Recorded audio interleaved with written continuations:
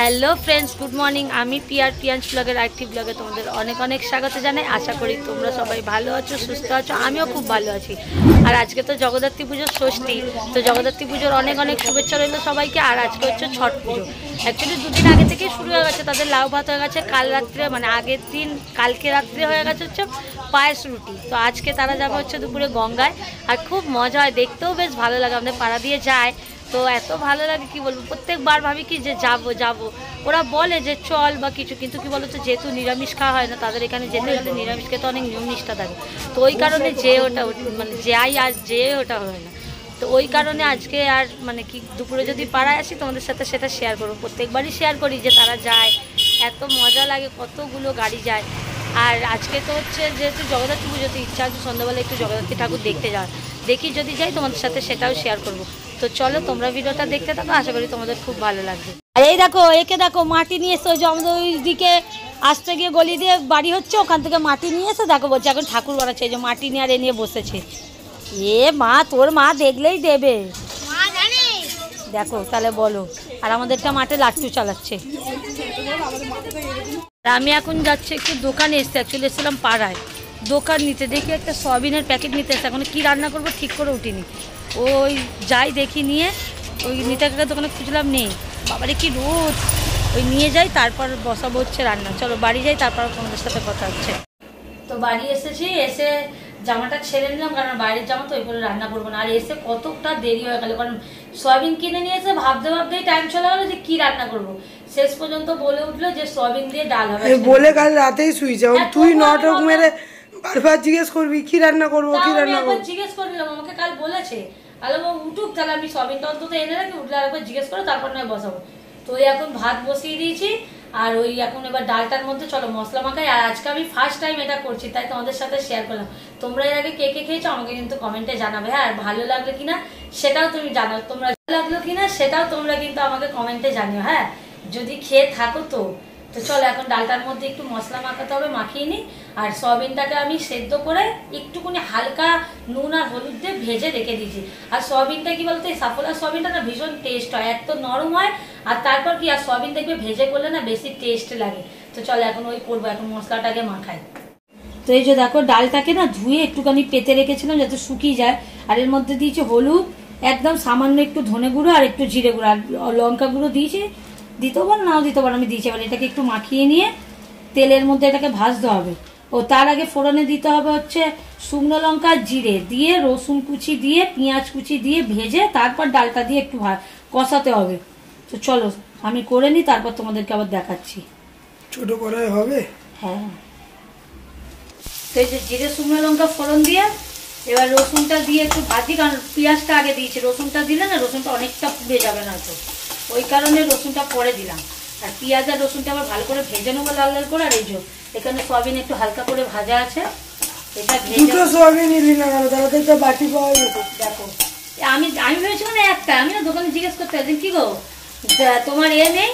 বলছে না দুটো নিলাম না থাক গিয়ে বাটিতে তোর মাসে এতগুলো দিয়েছে তারপর আছে আর কি করব? দুটো সয়াবিন নিয়ে সেই বেকার পড়ে থাকবে আছে আমাদের একটা সয়াবিনই বেশি হবে ওর জন্য নিই।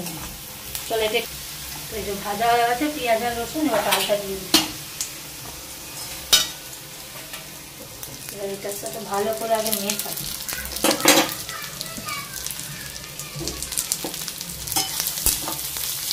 ভালো করে কষিয়ে নিয়ে পেঁয়াজ গেল বড় কড়াটা একটুখানি ডাল হবে সয়াবিন তো হয়েই যাবে। পুরো কষানো হয়ে গেছে এবার সয়াবিনটা দিয়ে আরেকটু কষাবো তারপর দেবো হচ্ছে জল। ডাল পুরো কষ্ট হয়ে। দিয়ে আর মনে হয় তো না হবে এটা। হ্যাঁ জল দেবো আর চাপ চাপ হবে এটা তো পাতলা হবে আর একটু তো জল রাখতে হবে দুবেলা খাব। হয়ে যাবে মধ্যে আমি ডাল করি না ঘরে। তাই বলছিস তো দেখ। জল তো জল দেখ এখন না। কি রে তাড়াহুড়ো করলে হয় না কিছুক্ষণ একশো মিনিট সয়াবিনটা দিয়ে কষা। ডান এবার দিয়ে দেবো জল ব্যাস। জল দিলেই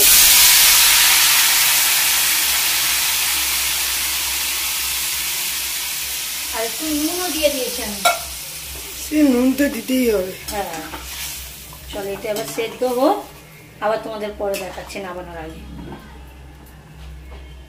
কোথায় আছিস আমি যাচ্ছি এখন আবার পাড়াতে এই যে ঠাকুরের এই কাপড়গুলো কাচতে। কারণ যেটা পাতা থাকে না সিংহাসনে কালকে টিকটিকি উঠে গেছে। এবার এর আগেও একটা কাপড় উঠিয়েছিলাম অনেকদিন পাতার পর আর কাচাই হয় না আর এখানে না জল নিয়ে তো খুব অসুবিধা। মানে ঠাকুরের তো শুধু যার এবার ধুয়ে ফেলায় করা খুব অসুবিধার জন্য কলে এখন জল আসে ওই যাই নিয়ে এই দুটো কাপড় শুধু ঠাকুরের ধুয়ে আসে নুন দিয়েছিলিস?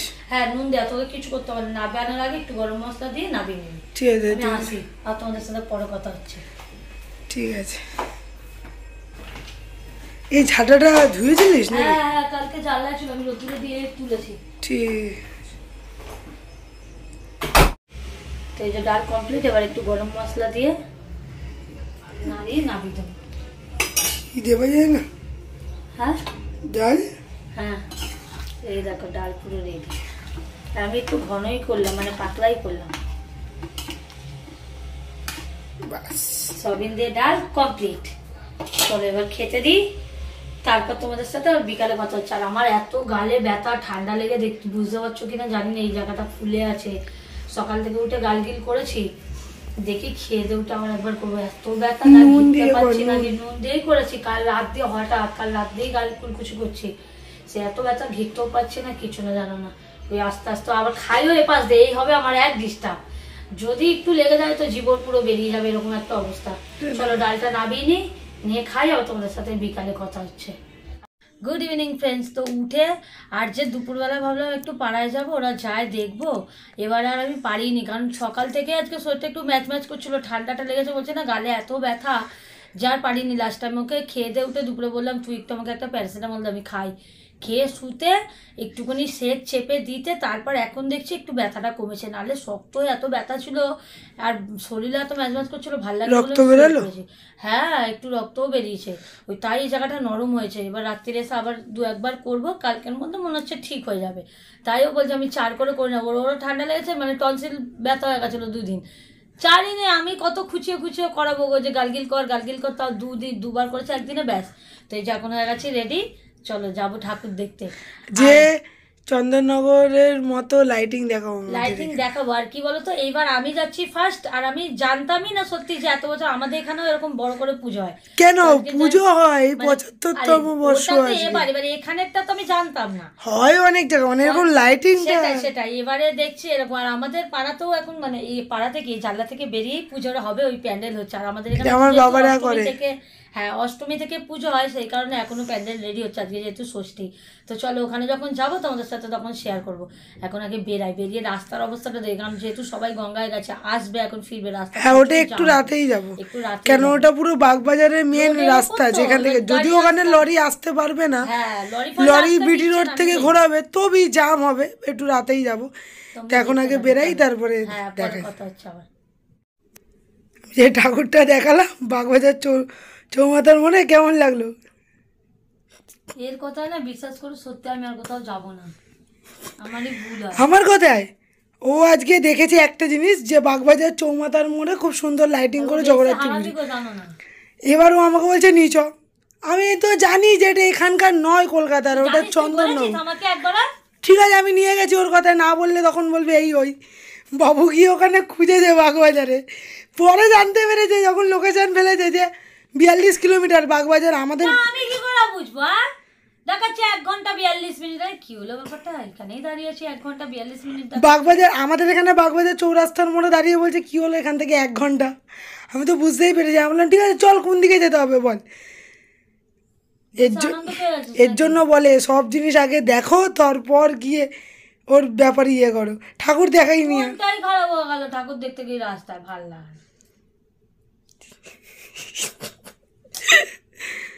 যা না বেশ হাসতে তোকে বলেছি। আরে তোকে একটা ভালো জিনিস দেখাবো। এখানে সকালবেলায় ছট পুজোর হয় সবাই ইয়ে করতে আসবে পুকুরের সামনে। দিয়ে করব? সে জু তো অনেক দেরি। জুই বলছিল যেতে এবার আমি এটো খেয়েছি তো হ্যাঁ বললাম আমি বললাম বলে কি সকালবেলা তো। না ও বলছিল ফ্রেশ ফ্রেশ হ্যাঁ চান টান করে জানি চান করে পরিষ্কার জামা প্যান্ট পরে তোকে যেতে হবে ওই সময় তো মেন ওদের পুজোটা হ্যাঁ। হ্যাঁ। এই যে এখন সব বলল সারা রাত ধরে রান্না করবে কারণ কালকে যখন আসবে যে উপোস করে থাকে সে ছত্রিশ ঘণ্টা উপোস করে থাকে। কালকে গঙ্গা থেকে যখন আসবে সে তো তাকে এবার কিছু খেতে হবে। ওই সেই সবজিটা মানে যেটা খায় কি বলল ছোলা দিয়ে পাঁচ বিশালি তরকারি আমি তো জানি না। ওই তাই করে রাখবে আর ঠিকুয়া যেটা ভোরবেলায় নিয়ে যাবে সেগুলোও করবে এখন সারা রাত বসে। প্লাস এখন লোককে যেটা দেবে সেটাও করবে। একবারেই এখন করে রাখবে। ওই একবারে গঙ্গায় নিয়ে গিয়ে সব পুজো করে এনে কালকে সকাল থেকে সব দেওয়া হবে। তাই এখন ও গেল। বলছে, চল, আনছি। বাবা, নিরামিষ খাইনি। নিরামিষ না খেলে আমার খুব ইচ্ছা যায়। আর সত্যি, আমি ঠিক করেছি, পরের বার আমি নিরামিষ খাবার যাব। একটা দিনের ব্যাপার তো কোনো ব্যাপার হয় না। যাব দেখি। ও আজকে বলছিল, তো ভোরবেলায় চল, ভোরবেলায় তো চান করতে হবে। এমনি এমনি কি যেতে পারব নাকি? এবার চারটের সময় যায় চান করা মানে তিনটে মিনিট এমনি আমার ঠান্ডা লেগে পুরো মাড়িটা আজকে ফুলে এত ব্যথা না। নাহলে আমি ভেবেছিলাম, ওকে বলছিল, চ, নাহলে যেতাম। চলো আজকের ভিডিওটা এখানেই এন্ড করলাম। সারাদিন ভালোই গেল, রাত্রে না মনটা সত্যি আমার এত খারাপ হয়ে গেলো, কি বলব? তোমাদের সাথেও ভাবলাম শেয়ার করব, সেটাও করতে পারলাম না। তোমরাও ভাববে, কি কথা বলে, জানে না, বানে না, আগের থেকে বলে দেয় অ্যাকচুয়ালি সেটা না, দেখো ভুল, আমারই ভুল বলতে গেলে সত্যি তাই। আমি পুরোপুরি না এ করে না, নিজে বেশি এ করতে যাই তো, ওই কারণে। বললাম, দেখে নে লোকেশনটা ছিল ও বুঝিনি। আমাদের এখানেও বাগবাজার আছে হ্যাঁ। চন্দননগরেও বাগবাজার আছে। এবার ওইখানকার চৌরাস্তা মেন ওখানেও যেখানে লাইটিংটা হয়েছে দু সাইডে বাজার। তো হ্যাঁ। আমাদের এখানেও চৌরাস্তার মোড়ে বাগবাজার। ঢুকতে দু সাইডে বাজার। ও ভেবেছি এখানে। ভেবেছি এইখানে যার জন্যই বললাম। ঠিক আছে চল। চল আর কি করা যাবে। পরের দিন আমাদের এই তো এইখানে পুজো হয় তবে পাড়াঘরে কয়েকটা পুজো হয়। যদি পারি তোমাদের সেটা শেয়ার করব। আজকের ভিডিওটা আমি এখানেই এন্ড করলাম। টাটা বাই আবার নেক্সট ভিডিওতে তোমাদের সাথে দেখা হবে। আর যদি আজকের ভিডিওটা ভালো লেগে থাকে, তো প্লিজ লাইক কমেন্ট শেয়ার করে দিও। আর যারা আমার চ্যানেলটায় নতুন, তারা চ্যানেলটাকে সাবস্ক্রাইব করে দিও। তো চলো টাটা বাই গুড নাইট ওম নমঃ শিবায়